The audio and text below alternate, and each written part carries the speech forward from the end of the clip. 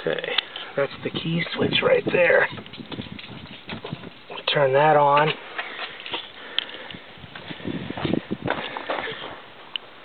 There's the train horns. Once that's on, we have two buttons here. And there's the regular horn. So when the key's off, nothing. That one still works.